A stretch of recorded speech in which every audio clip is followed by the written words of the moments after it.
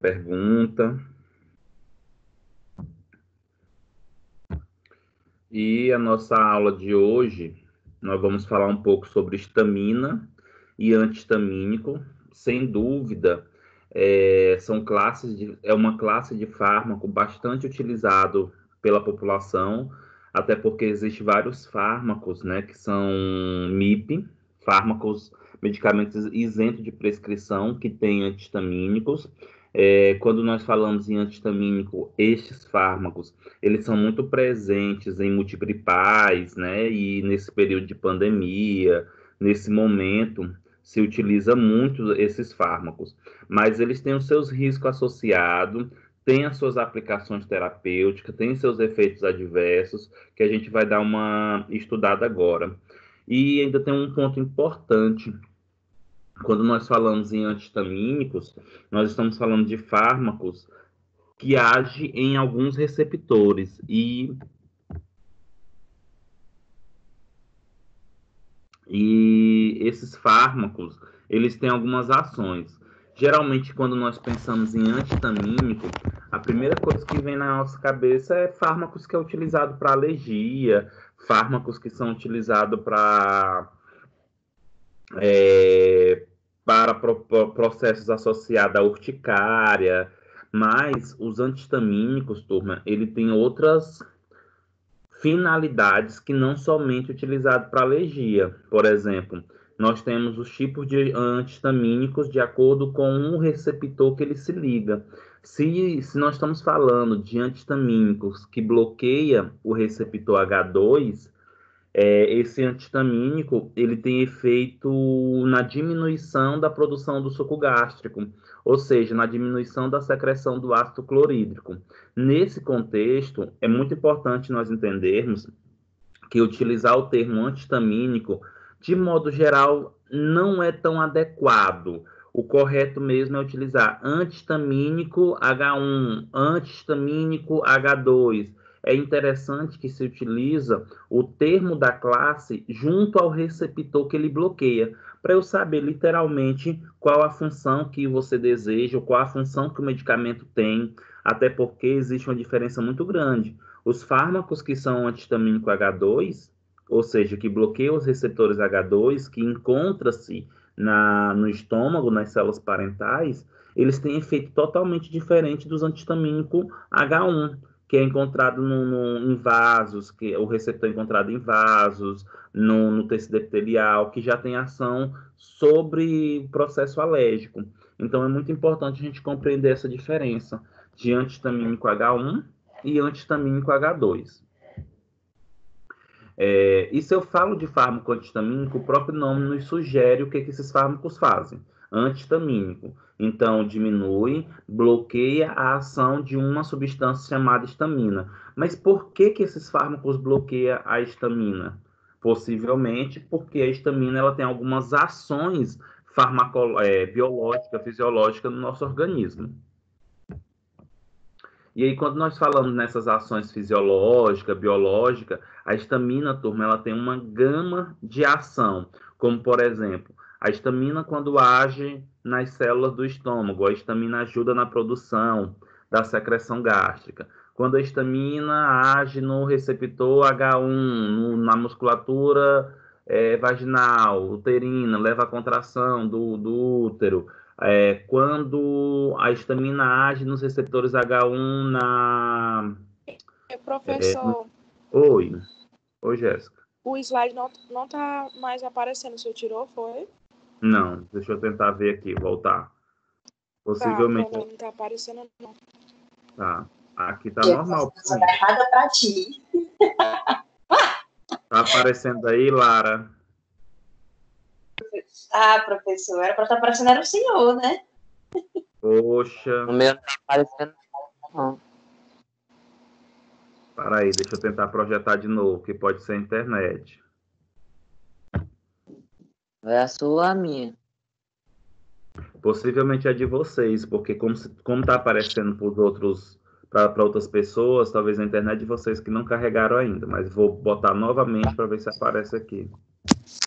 O meu tava, mas foi só Jéssica falar, desapareceu. Só mexeu aí desapareceu. Eu vou colocar novamente.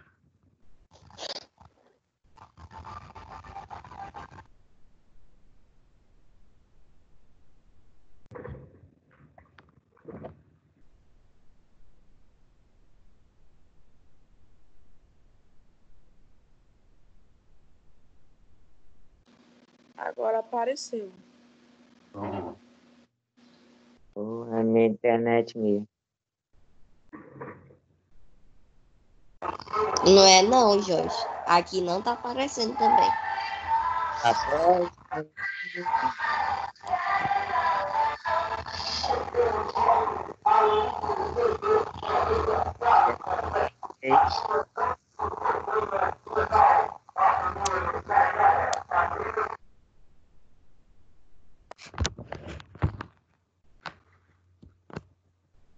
Os que não estão aparecendo na internet, gente, é, sai, ou desculpa, que não estão aparecendo nos slides, sai e entra novamente, tá? Que talvez seja conexão mesmo, porque para outros está aparecendo e para mim aqui está teoricamente normal, tá?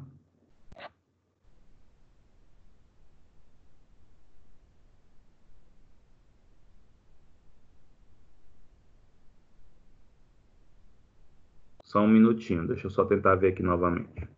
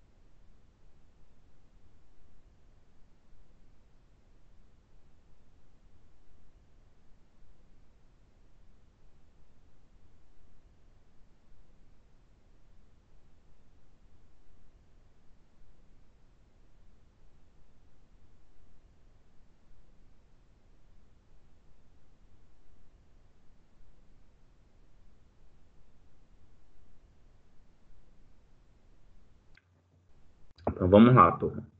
É, então, como eu comentei, estava comentando para vocês quando se fala da estamina, né? A estamina, ela é uma substância que ela tem algumas funções fisiológicas no nosso organismo.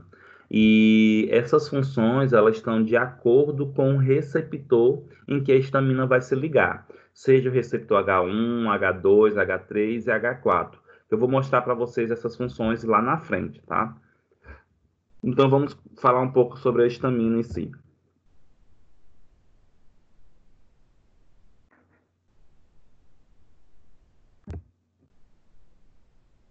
É, primeiro, a estamina, ela deriva do grego, que significa, ela deriva do grego istos, e aí quando nós falamos é, istos, vocês podem observar que faz analogia à histologia, né, que é uma ciência que estuda as células.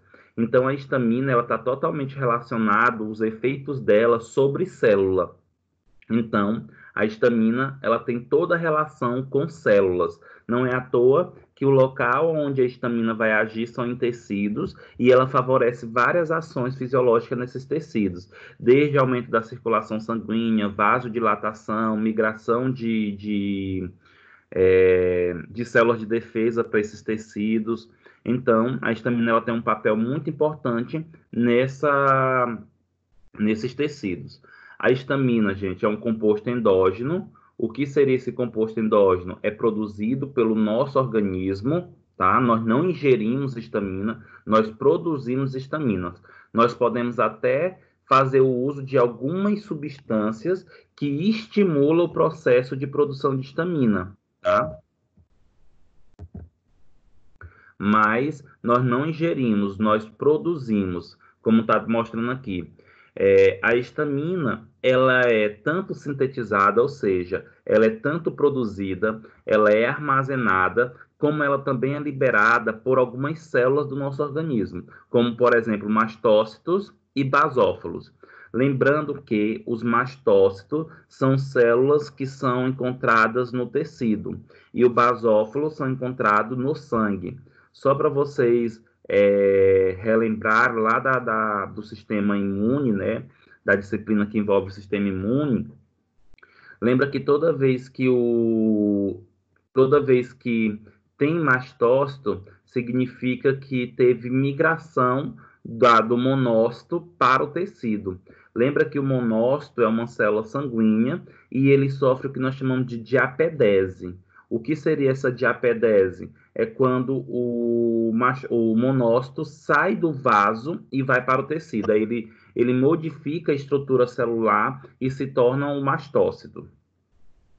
De modo geral, a histamina ela exerce profundos efeitos sobre vários tecidos e órgãos. Então, quando a gente fala que é, exerce profundo efeito, eu estou querendo me referir que ocorre a produção, que, que ocorre vários efeitos fisiológicos, é já que eu vou mostrar para vocês todas as funções da histamina no organismo, então vocês vão perceber que a histamina é sim uma substância muito importante, já que envolve várias ações sobre o organismo humano.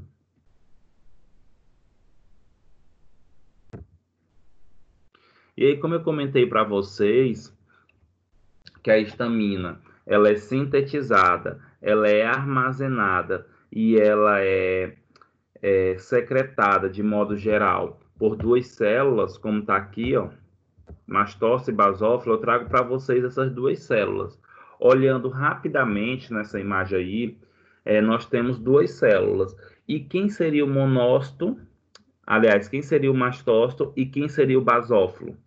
Na própria imagem, dá para a gente é, ter uma ideia de, qual, de, qual de quais substâncias, aliás, de quais células a gente está se falando. Como assim? Como é que olhando para essa imagem eu consigo saber quem é o mastócito e quem é o basófilo? Lembra que eu comentei anteriormente que o mastócito são células de tecido e o basófilo são células sanguíneas, é, são células que estão presentes no sangue.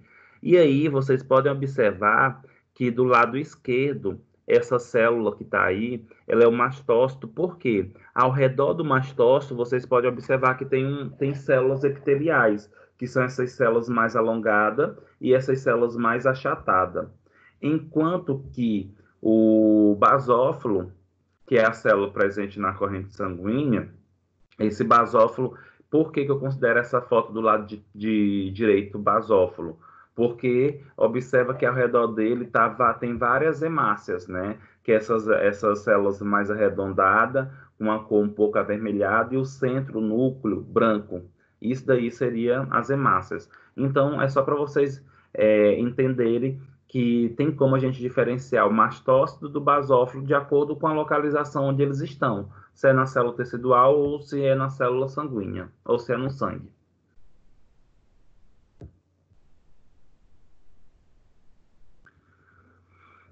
Como eu comentei anteriormente para vocês, a histamina, gente, é uma substância muito importante, é essencial para o organismo, para o funcionamento, para algumas funções em si.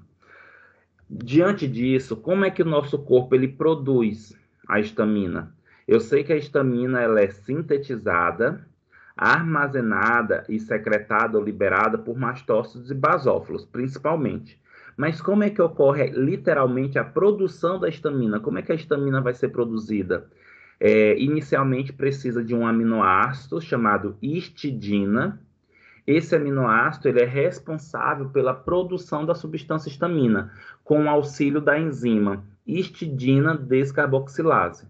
Então, tem um aminoácido, na presença da enzima ou sobre a ação enzimática da histidina descarboxilase, ocorre a formação da substância histamina. Então, isso que eu estou comentando para vocês é a sintetização, é como a histamina ela vai ser sintetizada. E depois que a histamina é sintetizada, como é que ela é, ela é armazenada? A histamina ela é armazenada em forma de grânulos, e pode ser encontrado tanto nos mastócitos quanto nos basófilos. Eu vou voltar ao slide para mostrar as células novamente para vocês. Acredito eu que vocês estão vendo essas duas células e observa que parece que tem grânulos grandes no citoplasma da célula. No mastócito a gente consegue ver vários. Nos basófilos a gente também vê vários, só que bem mais grosso, maior, né? Então, assim, tanto o mastócito como quanto o basófilo, turma, ele sintetiza a histamina e armazena essa histamina na forma de grânulo, que quando literalmente for necessitar desses grânulos, vai ocorrer a liberação pelo citoplasma. Então, essa, essa, esses, esses grânulos que vocês observam dentro no citoplasma né, do, do, dessas células são a histamina, são grânulos de histamina. E esses grânulos estão associados à heparina, tá? Então, dentro do citoplasma dessas células tem, o, tem a histamina e a histamina está associado à heparina. Só para relembrar, a heparina, gente, é um anticoagulante natural. Então, a heparina está circulante no nosso sangue e, e auxilia a diminuir a formação de coágulo, diminuir a formação de trombo, deixar o sangue fluido. A heparina ela tem produção também sintética, tá? Inclusive, é, em, algum, em alguns, alguns laboratórios, eles, eles compram heparina para colocar nos túbulos, nos túbulos de ensaio, para colocar, às vezes, o sangue, para o sangue não coagular, para realização de alguns exames laboratoriais, como hemograma, tá?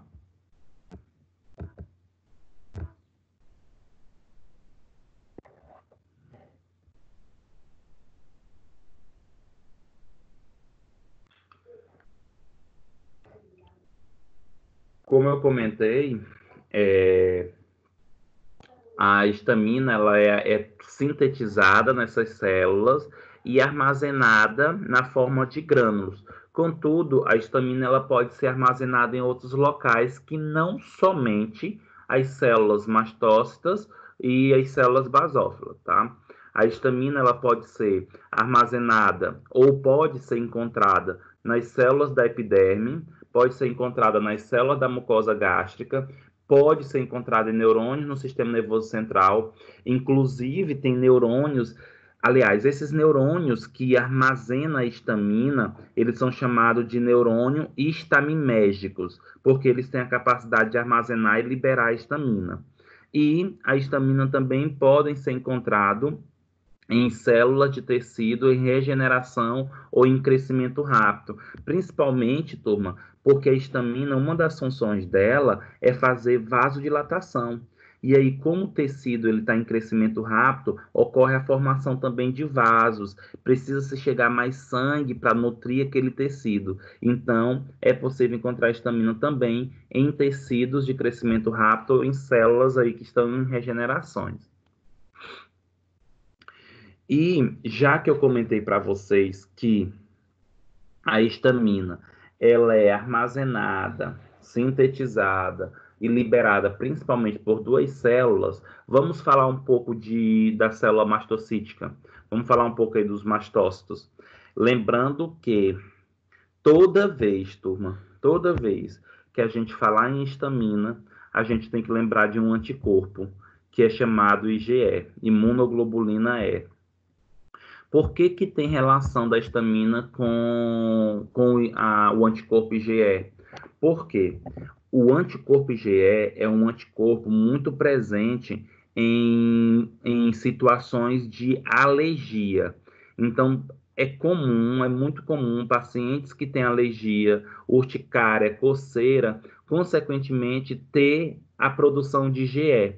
E essa produção de IgE, ela está totalmente associada ao mastócitos Tá? Inclusive, o anticorpo, né, a imunoglobulina E, ela é responsável por facilitar o processo de liberação da histamina das células mastocitárias.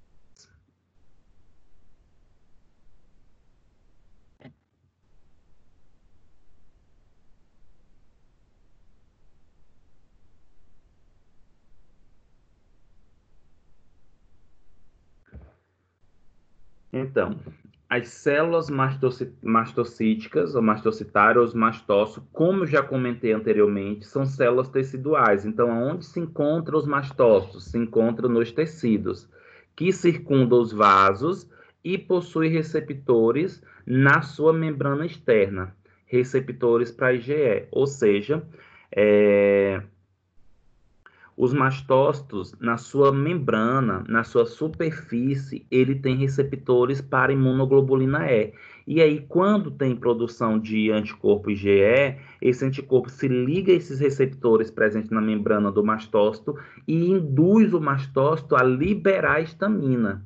E aí, se tem liberação de histamina em grandes quantidades, o paciente vai, o paciente vai sofrer as consequências associadas ao aumento dessa histamina, da liberação excessiva dessa histamina, que é o que? Os processos associados ao receptor H1 e H2. Vai ter aumento da produção do suco gástrico, vai ter vasodilatação, vai ter vermelhidão, aumento da temperatura corporal. Então, a histamina está associada a esses aspectos e outros que eu vou mostrar em seguida. É, os mastócitos, gente, também se localizam nas regiões de mucosa que estão em contato com o meio externo. Então, se vocês pegarem aí as mucosas que estão em contato com o meio externo, vai ter grande quantidade de mastócito. E isso é muito importante porque os mastócitos têm o objetivo aí de facilitar a neutralização dessa facilitar a neutralização desses desses antígenos, dessas partículas estranhas que possam chegar entrar no organismo. E quando eu falo que os mastócitos eles se localizam em regiões de mucosa que estão em contato com o meio externo, eu estou falando o quê? De olhos, eu estou falando de boca, eu estou falando de nariz. Então, mucosas que entram em contato com o meio externo, teoricamente, têm os mastócitos, justamente para facilitar o processo de proteção. E aí, turma, quando o mastócito ele é estimulado por um antígeno. O que é um antígeno? É uma substância estranha que ativa o sistema imunológico. Então, toda vez que tiver um, uma partícula estranha, uma substância estranha, que estimula os mastócitos através de seus receptores, o que, é que vai ocorrer com esse mastócito? Ele vai sofrer desgranulação e liberação da histamina. O que é essa desgranulação? É quando os grânulos eles começam teoricamente não ficar mais agrupado e esses grânulos de histamina começam a se desmanchar, se desfazer e libera essa histamina na circulação sanguínea. E aí, histamina na circulação sanguínea vai ter os efeitos propensos associados a essa substância. Então, vamos relacionar toda vez que nós encontrarmos mastócitos com IgE. E toda vez que nós encontrarmos IgE, vamos relacionar com os mastócitos. O que seria isso? Possivelmente, toda vez que nós tivermos um processo alérgico, tem aumento de mastócito e tem aumento de IgE. Porque a IgE, ela, ela se liga a esse mastócito para fazer com que os, o mastócito reconheça esse antígeno. E aí, infelizmente, reconhece, mas também, infelizmente, libera uma grande quantidade de histamina. E essa histamina pode levar a alguns efeitos adversos, efeitos colaterais no nosso organismo.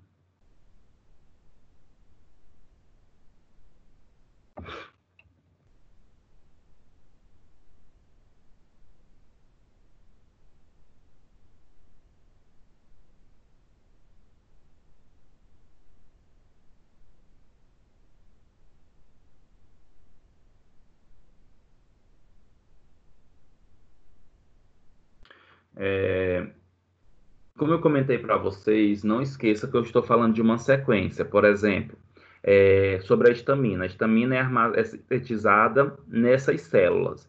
É armazenada é, também nessas células ou em outros tecidos. E a histamina ela é liberada por essas células ou pelos tecidos por dois mecanismos que eu vou mostrar agora. Através de uma liberação citolítica ou através de uma liberação não citolítica.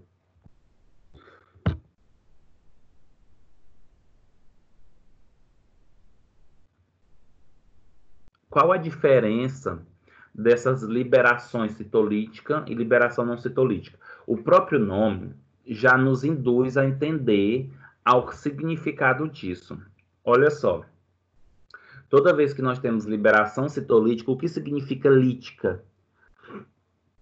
Significa lesão, significa, desculpa, significa rompimento. Significa que quando eu falo liberação citolítica, e cito vem de célula. Então, a, a histamina ela está se liber, tá liberando, tá sendo liberada das células através de um rompimento da membrana, tá? E o que é liberação não citolítica? É quando a histamina ela está sendo liberada da célula, mas não por um processo de rompimento da membrana, tá? Vamos entender esses dois processos. É, liberação citolítica é onde a membrana plasmática da célula é danificada, não sendo um processo dependente de energia. Por algum motivo, o, o mastócito, basófila, onde armazena, ou outras células que armazenam a histamina, por algum motivo ela sofreu um rompimento da membrana. E aí, como a histamina está dentro do citoplasma, essa histamina ela vai ser liberada. E aí, é, é chamado de liberação citolítica, porque há rompimento da membrana e liberação dessa histamina em si. Contudo, essa liberação, muitas vezes, ela pode ser uma liberação é, lenta, uma liberação, entre aspas, saudável, porque nós sabemos que as células de defesa, elas têm um período de sobrevida, e com o passar do tempo, essas, essas células vão morrer e essas membranas vão romper, e aí libera a histamina. Geralmente, a liberação citolítica é uma liberação teoricamente boa, tá? É, a quantidade de histamina que é liberada é uma quantidade normal, necessária para o organismo. O grande problema é essa liberação não citolítica, tá? O que é essa liberação não citolítica? É quando ocorre a liberação de histamina sem rompimento da membrana, através principalmente da formação de vacúolos. Né? Então, a histamina a histamina, ela tá dentro do tá dentro da célula e por alguma indução, como por exemplo pela ligação da, da, do anticorpo IgE no receptor do mastócito, isso faz com que ocorra a liberação de histamina por um processo não citolítico, através de um processo de vacula, vacuolização como vocês podem observar aí, ocorre exocitose dos grânulos, ou seja, ocorre a liberação dessa histamina e do interior do mastócito sem rompimento da membrana. Isso é o que vai acontecer nos processos alérgicos, tá? E, consequentemente, essa histamina ela vai ser é, é liberada em excesso no organismo, vai agir nos receptores H1 e isso vai levar a um processo alérgico, tendo que fazer o uso de medicação bloqueadora desses receptores. E toda vez, turma, que tem liberação não citolítica, né, é necessário a produção de ATP.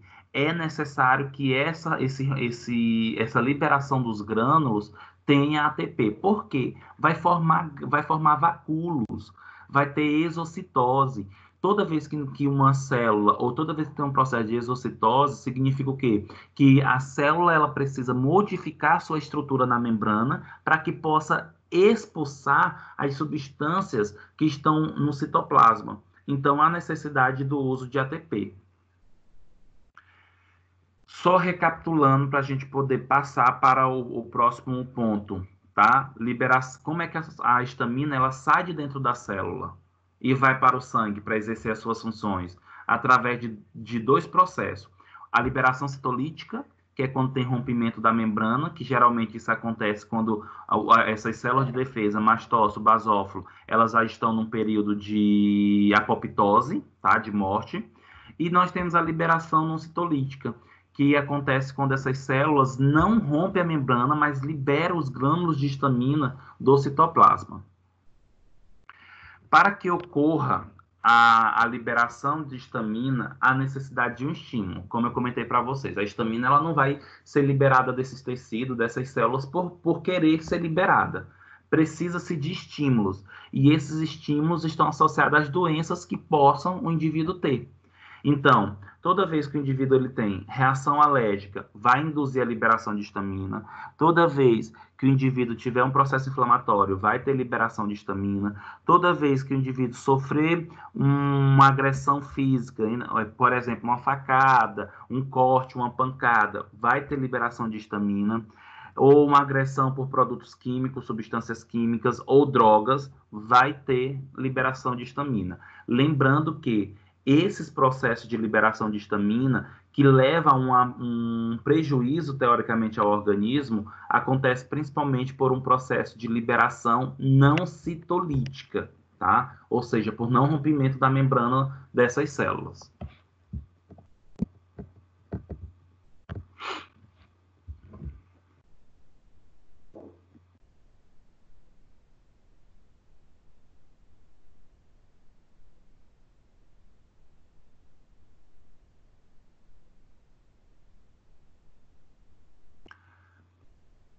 Nessa imagem, turma, nesse slide, nós temos é, uma característica muito importante sobre a questão da liberação da estamina, que dá para a gente diferenciar o que seria uma, uma liberação citolítica e uma liberação não citolítica.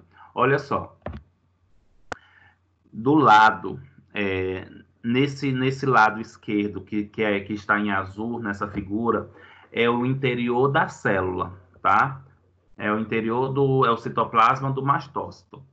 Já nesse, nessa parte mais amarela, é claro, do lado direito, nós temos aí o meio externo.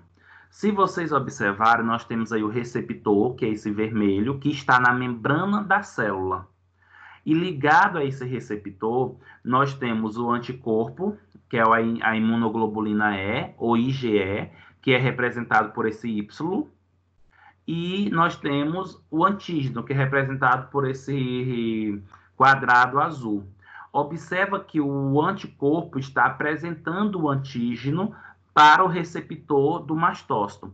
O mastócito ele reconhece isso e aí ele começa a liberar a estamina através de vacuolização. Observa que no meio, no citoplasma, tem aí a entrada de cálcio, a MP cíclico, que é adenosina monofosfato cíclico, e nós temos aí o vacúolo, que vai levar à liberação desses glânulos de estamina no meio externo.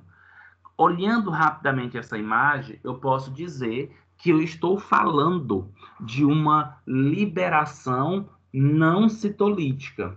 Por que, que eu estou dizendo que está tendo uma liberação não citolítica da estamina? Porque está envolvendo vacúolo, está envolvendo o cálcio, que envolve energia, está envolvendo a presença de anticorpo e de antígeno. Então, sempre que vocês encontrarem essa característica, eu estou falando de liberação é, não citolítica porque não há rompimento da membrana. Lembrando que para que tenha a liberação citolítica, tem que ter rompimento da membrana. Isso acontece só mais com o envelhecimento, com a apoptose das células é, imunológicas, mastócito e basófilo.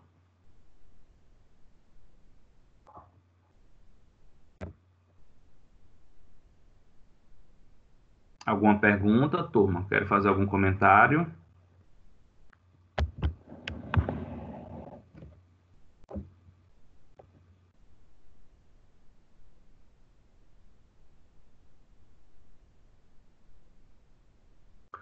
Em relação, turma, à distribuição da estamina. A estamina ela pode ser distribuída basicamente para todo o nosso organismo, mas a, os principais locais de encontro da estamina é a pele, pulmão, mucosa gástrica e sistema nervoso central. E isso é muito importante vocês compreenderem, porque esses locais eles sofrem muita influência da ação dessa substância.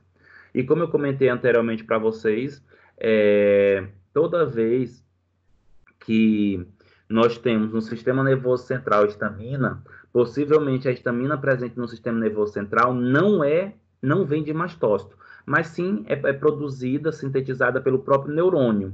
E os neurônios que sintetizam a histamina são chamados de neurônio histaminérgicos.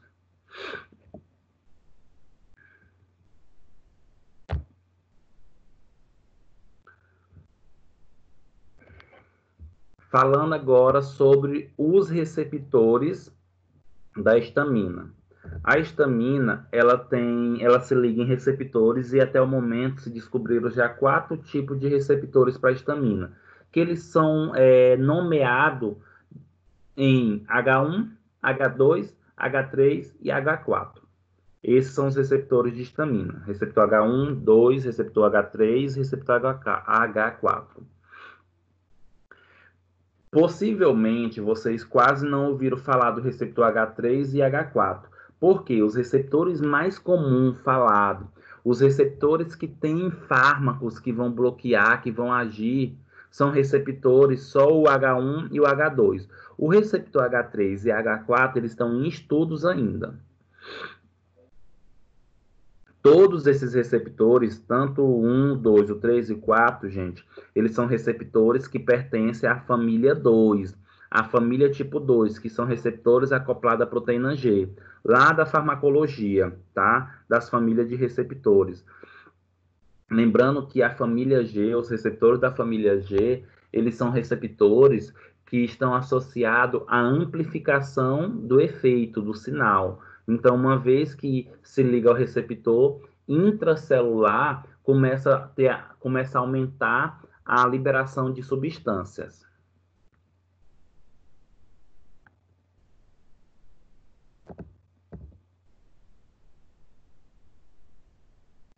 Lembrando que, aliás, vou começar agora a apontar quais são as ações desses receptores, mas só para já compreender.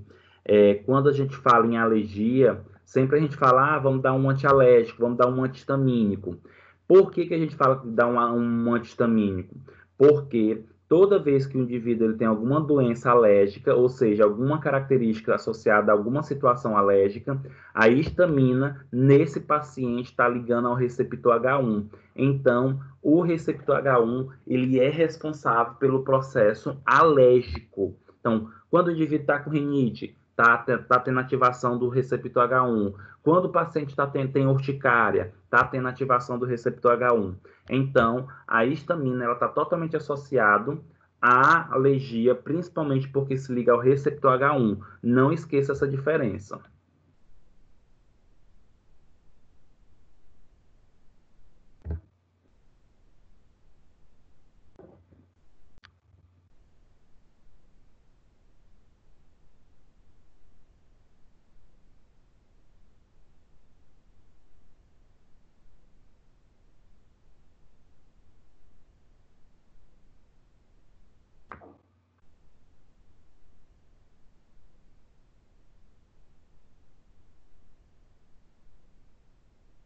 Essa, esse slide, gente, esse slide 10, ele, o slide 10, o 11 e o 12,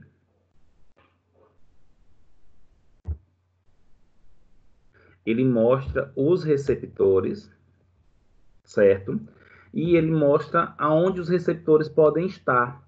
Aliás, aonde os receptores estão e quais as funções desse receptor sobre esse tecido, sobre esse órgão. Olha só, vamos começar aqui no receptor H1, no músculo liso vascular. Se eu falo é, receptor no músculo liso vascular, estou dizendo que o receptor H1 ele está sobre o vaso, ele está nas células, sobre a superfície das células do vaso sanguíneo. E o que que esse receptor ele favorece. O que, que esse receptor ele favorece no, no músculo liso vascular? Ele favorece a vasodilatação, ele favorece o rubor, a queda da pressão arterial, aumento da perme permeabilidade e edema. O que, que eu estou dizendo aqui, turma? Que toda vez que tem a histamina ligada ao receptor H1 na superfície do, do, do vaso, o que, que a histamina vai fazer nesse receptor? Ou vai fazer com que esse receptor faça? tenha vasodilatação, rubor, queda da pressão, porque se tem vasodilatação, tem queda, queda da pressão. Se tem vasodilatação, tem aumento da circulação sanguínea, e isso leva a um aumento da, da, da ruborização, aumenta a cor naquele tecido, fica mais vermelho. E também, se tem vasodilatação, vai ter aumento da permeabilidade, que é a passagem da água de dentro do vaso para o tecido, e o indivíduo ele vai ter edema, o indivíduo vai ter inchaço. Então, isso seria a função da, da estamina ligada ao receptor no vaso. Qual a função do, do, receptor H1 na musculatura uterina quando a estamina se liga a ele? Contração. Qual a função da estamina sobre a musculatura brônquica quando se liga ao receptor H1? Contração. Então, turma, por exemplo, pacientes que têm asma, pacientes que são asmáticos, paciente que tem DPOC, né, que é a doença pulmonar obstrutiva crônica, esses pacientes que têm uma liberação de histamina em excesso, possivelmente esses pacientes eles vão ter uma dificuldade é, de respirar mais ainda, porque eles já têm a condição que dificulta o processo de respiração. E associada à ação da estamina, porque a estamina ela, ela leva à contração. Então os brônquios, eles vão, os bronquíolos vão ficar vai ficar acontecendo broncoconstrição, broncoespasmo, e aí vai ter dificuldade mais ainda de respirar.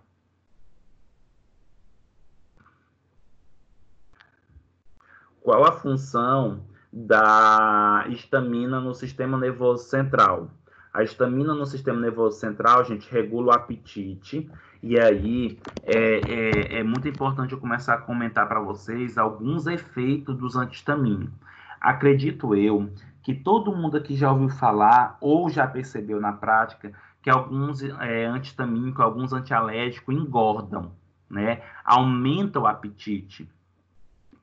É tanto que, é, por exemplo, dexclofrenamina, prometazina, que é o polaramine, esses fármacos, gente, quando a pessoa utiliza, aumenta o apetite.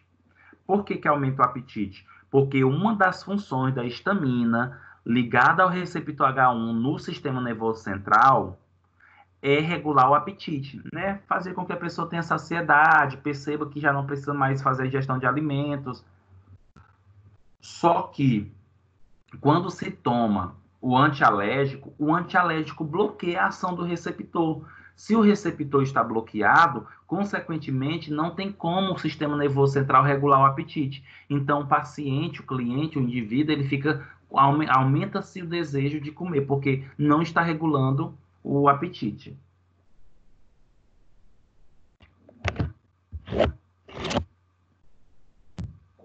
Além disso, toda vez que a histamina está ligada ao receptor H1 no sistema nervoso central, também tem é, alteração na temperatura corporal, né? Pode elevar essa temperatura. Envolve a secreção de hormônios antidiuréticos, da pressão e a percepção da dor. É tanto, turma, que a histamina, quando se liga ao receptor H1 no sistema nervoso central, ela diminui o limiar de percepção da dor. O que seria isso? A pessoa tem a tendência de ser, estar mais sensível a sentir dor. É o exemplo das mulheres no período de TPM, tá? As mulheres, quando estão em TPM, elas liberam mais quantidade de histamina e, consequentemente, elas ficam mais sensíveis a isso não só emo emotivamente, né? não só emocional, mas também sensíveis no sentido físico. Como assim? Ela antes, quando ela andava, antes do, da TPM, quando ela anda, que ela bate, por exemplo, numa pedra, aquela dor não vai ser suficiente para levar uma agonia. Aquela dor é tolerável para ela. Mas quando ela está no período de TPM, que ela tem liberação de histamina, esses receptores estão mais sensíveis e aí ela por causa da estamina. E aí, nesse caso, quando ela sofreu uma, uma topada em uma pedra, aquela dor que antes ela, ela era to, tolerável, agora não é mais tolerável, ela vai sentir uma grande dor. Então, isso que eu comentei para vocês aqui é a ação da estamina sobre o receptor H1 dentro desses tecidos, dentro desses órgãos.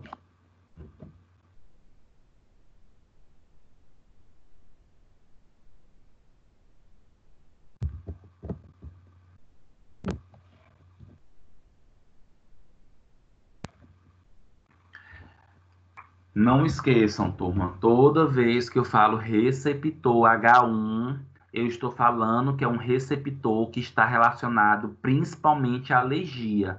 Toda vez que nós temos processo alérgico, vai ter é, ativação do receptor H1, principalmente no vaso e no tecido epitelial. Agora a gente vai falar de outro receptor, que é o receptor H2, e esse outro receptor, ele tem outras funções que são distintas, né, diferente do receptor H1. Então, enquanto o receptor H1, quando a estamina está ligada a ele, lá no, no, no, no útero e no vaso, leva a broncoconstrição, leva a contração, já o receptor H2 da estamina, que está localizado também no vaso e no útero, quando a estamina se liga ao receptor H2, acontece o contrário. Vai ter relaxamento e dilatação. Enquanto o H1 favorece a contração, o H2 favorece o relaxamento e dilatação. No coração, toda vez que a estamina está tá ligada Toda vez que a estamina está ligada ao receptor H2 no coração, vai ter aumento é, dos efeitos crono e inotrópicos. O que seria isso? Vai aumentar a entrada de substâncias, de íons para o coração, como por exemplo o cálcio. Então, vai aumentar os batimentos cardíacos. Mas desses daí, todos são importantes, mas desses daí, o que eu quero que mais fique é, explícitos para vocês e que vocês entendam mais, gente, é essa, é essa ação do receptor H2 da estamina ligando ao receptor H2 nas células da mucosa gástrica. O que seria isso? O receptor H2 ele se encontra nas células do estômago, que é chamado células parentais. E essa estamina, quando se liga a esse receptor H2 nas células do estômago, gente, essa estamina vai aumentar a secreção de ácido clorídrico. Então, tem um aumento na produção do suco gástrico. Fisiologicamente, isso é bom, né? Porque nós precisamos do suco gástrico para que ocorra o processo de digestão. Contudo, quando você tem um excesso desse suco gástrico, o que é que vai desenvolver? Úlcera, né? Vai desenvolver gastrite. E se não tratar, se não resolver, vai desenvolver a úlcera. E aí, como, como, se, como descobrir esse processo? Desenvolveram fármacos que bloqueiam o receptor H2. Esses fármacos que bloqueiam o receptor H2 lá na célula do estômago deixa de produzir, o, o, faz com que as células deixem de produzir em grande quantidade o suco gástrico. Como, por exemplo, ranitidina, famotidina, metiamina, tá? Esses fármacos, é, cimetidina, esses fármacos, eles têm a capacidade de diminuir a ação da estamina no receptor H2. Diminuindo a ação da estamina no receptor H2, nas células do estômago, diminui a secreção do ácido clorídrico.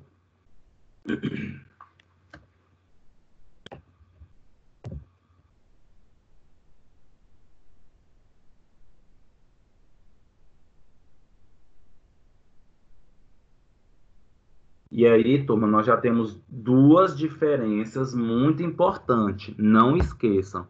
H1 está associada à alergia e H2, aliás, vamos, vamos por parte. O receptor H1 é encontrado principalmente em vasos e tecido epitelial e uma das funções quando se liga a estamina a esse receptor é aumentar o processo alérgico.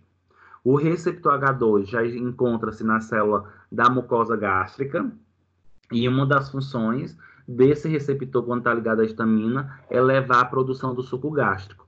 Em excesso, né, o suco gástrico pode levar a gastrite e úlcera.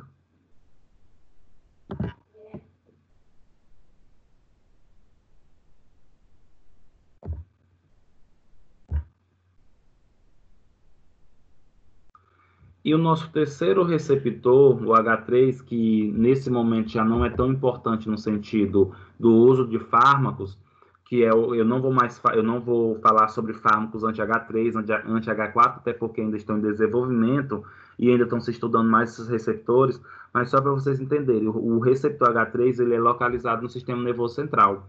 e ele está relacionado à neurotransmissão e neuromodulação. Nessa questão de verificar eh, os impulsos nervosos, a produção de neurotransmissores, então ele é responsável por essa neuromodulação. Então, vamos começar a falar. Vamos começar a falar de modo geral sobre esses receptores que é o nosso foco em estudo, que é o receptor H1 e o receptor H2. É...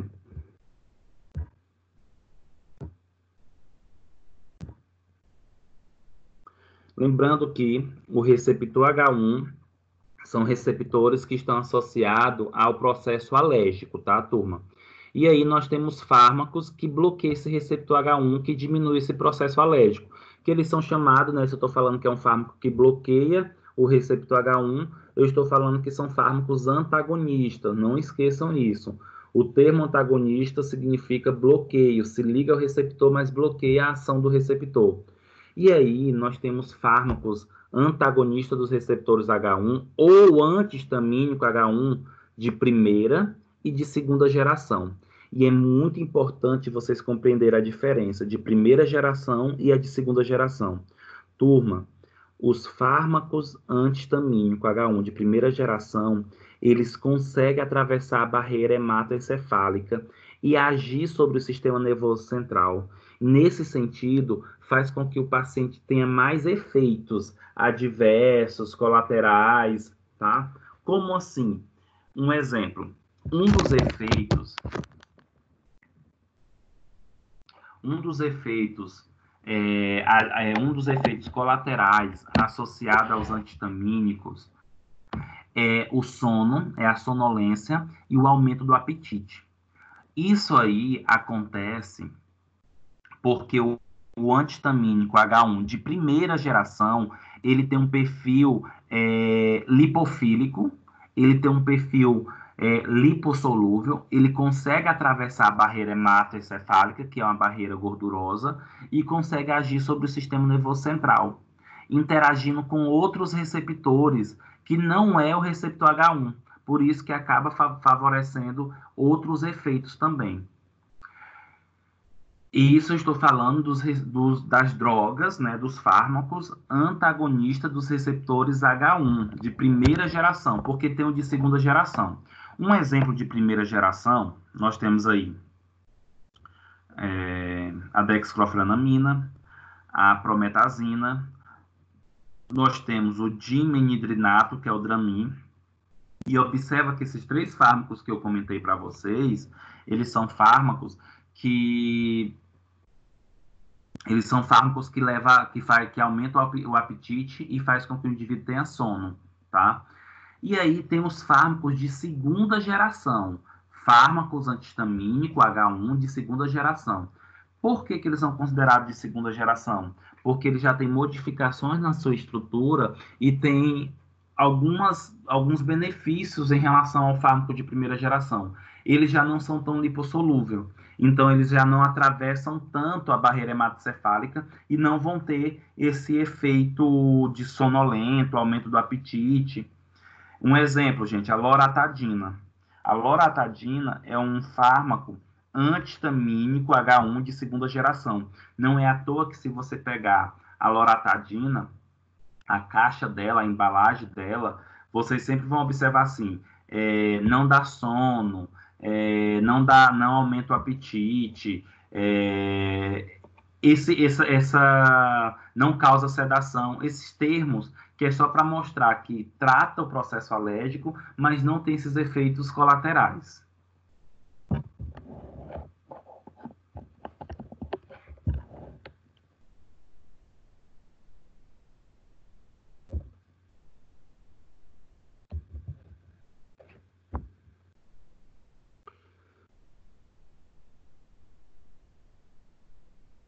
Como eu comentei para vocês, turma, a... esses fármacos de primeira geração, eles apresentam baixa especificidade, ou seja, lembra quando a gente falava lá na farmacologia seletividade, sensibilidade e especificidade.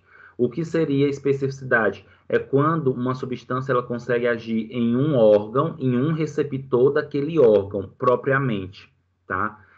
Como, como os antihistamínicos de primeira geração, H1 de primeira geração, não tem especificidade, eles acabam agindo em outros receptores, tanto o muscarínico colinérgico, que são receptores da acetilcolina, age também receptores alfa-adrenérgicos, que são receptores da adrenalina, e receptores de serotonina, que são receptores é, 5, é, 5S, 5SHT, que são receptores associados à, à substância serotonina. Como eles não, como eles têm baixa especificidade, eles acabam agindo em outros receptores e, consequentemente, vai ter outros efeitos, que é o que eu vou mostrar agora nesse slide.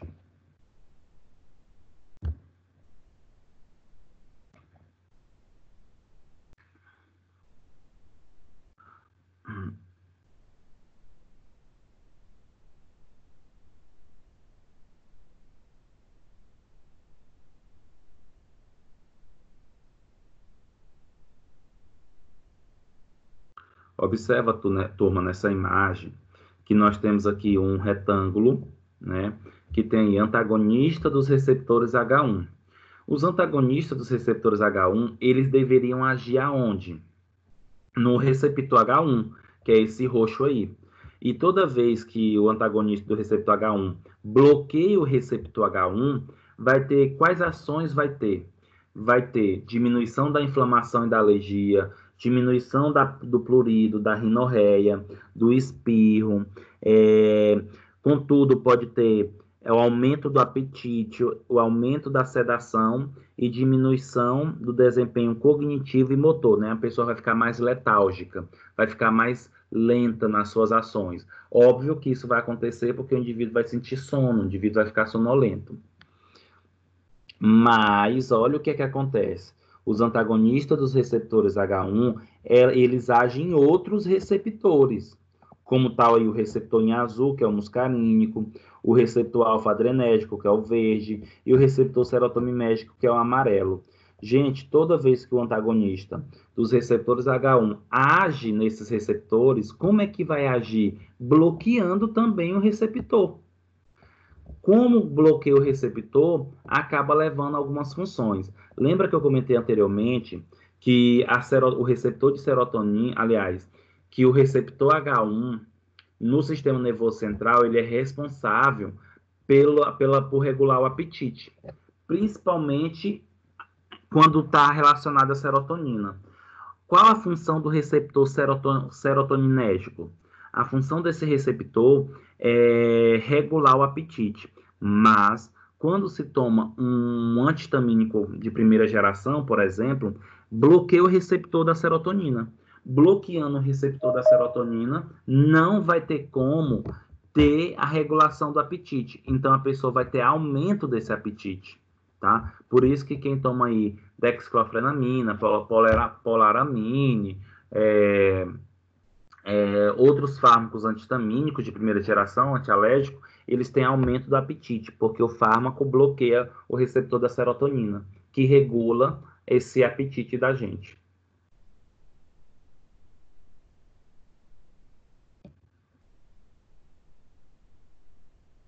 E outro receptor que é bloqueado, gente, é o receptor alfa-adrenérgico, tá?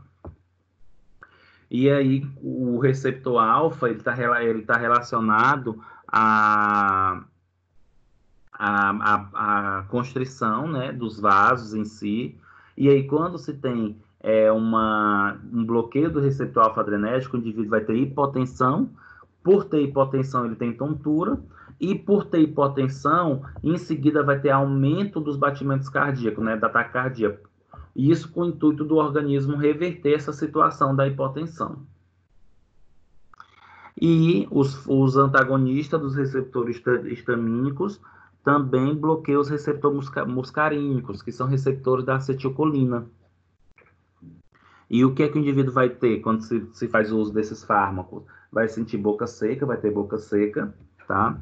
Retenção urinária e também vai ter taquicardia. Porque tudo isso, gente, são ações ao contrárias do receptor, tá? O receptor, quando ele é bloqueado, o que acontece com ele são as ações ao contrário do que ele deveria fazer.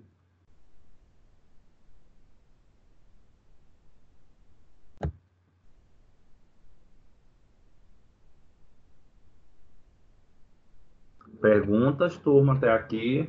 Comentário?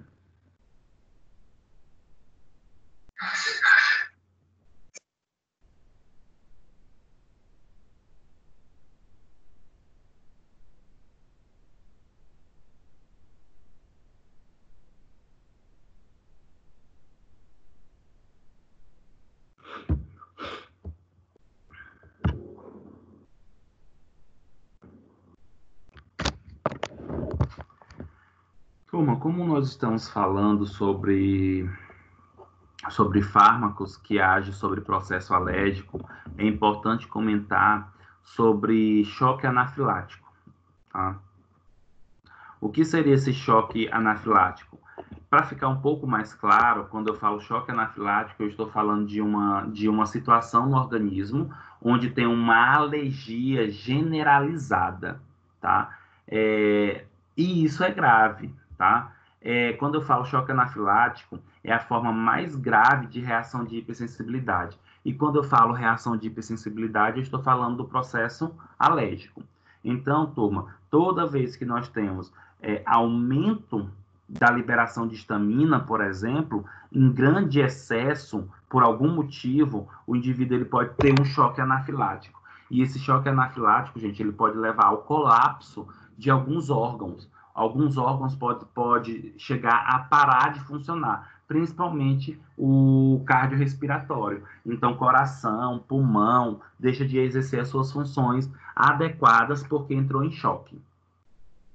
E o que leva esse choque anafilático? E outra, toda vez que o indivíduo tiver com choque anafilático ou estiver entrando em choque anafilático, se não der a medicação imediatamente, é, existe uma probabilidade muito grande do paciente vir a óbito. E o que, que desencadeia esse choque anafilático? São agentes como drogas, alimentos e contrastes radiológicos, ou seja, turma, o, é, tem alguns fármacos como a morfina, é, a cloroquina, são fármacos que podem ter liberação excessiva de histamina e pode fazer com que o paciente ele tenha um choque anafilático, tá? Como também alimentos pode favorecer isso. Quem tem alergia a algum alimento, leite, é, camarão, crustáceos, amendoim, ovo, pode também levar a uma liberação excessiva de histamina e chegar a ter um choque anafilático. Gente, o choque anafilático, ele fecha a glote, né? O paciente ele não tem respiração, para a respiração, o pulmão vai ter uma, uma broncoconstrição, dificuldade em respirar, e os sinais do choque anafilático, os sinais e sintomas podem ter início após segundo até hora após a exposição, tá? E o quadro típico, como eu comentei para vocês, é uma parada cardiorrespiratória em poucos minutos. E, claro, se não resolver, se não levar imediatamente para a emergência, se não tiver medicamentos que possam reverter esse, esse quadro, tá? Um exemplo de choque anafilático, gente, é quando o paciente ele faz uso de algum medicamento que começa a inchar os olhos, fechar a glote, ele está entrando inicialmente em choque, tá? E aí dá logo, por exemplo, dexametasona na veia ou outros, ou outros fármacos antialérgicos, como, por exemplo, os antihistamínicos. Apesar de eu estar tá falando para vocês do choque anafilático aqui, mas é mais comum tratar choque anafilático com corticoide do que com os próprios antihistamínicos, tá? Mas às vezes se faz uma associação dos fármacos em si. Quadro típico: o tratamento é imediato e é necessário para evitar a morte, senão a pessoa pode ter parada cardiorrespiratória.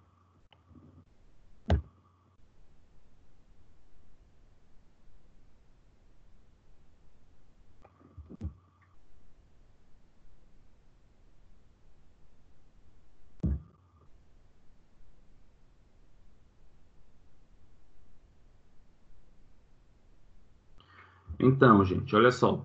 A liberação maciça de histamina pode causar. Então, quando eu falo liberação maciça, eu estou me referindo a uma grande quantidade de liberação de histamina.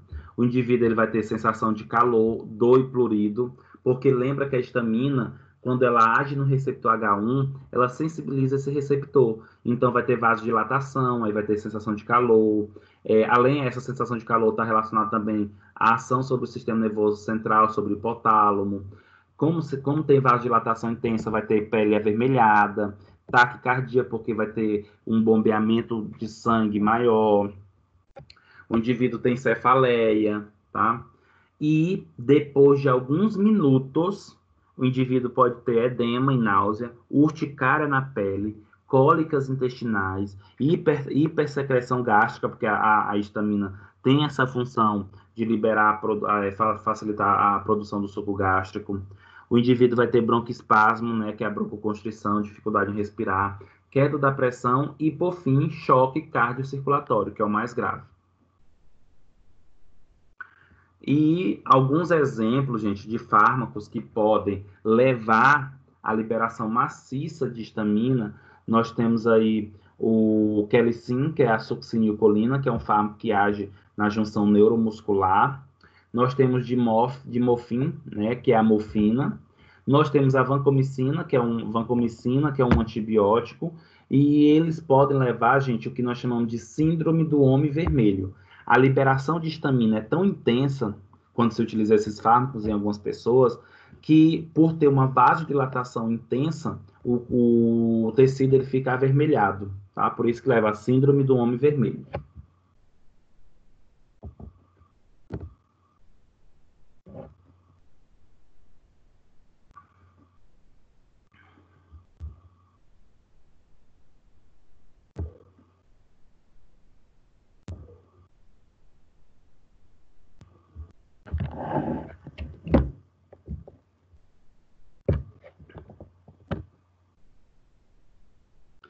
Turma, alguma pergunta?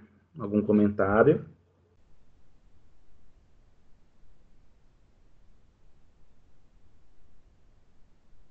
E, turma, é,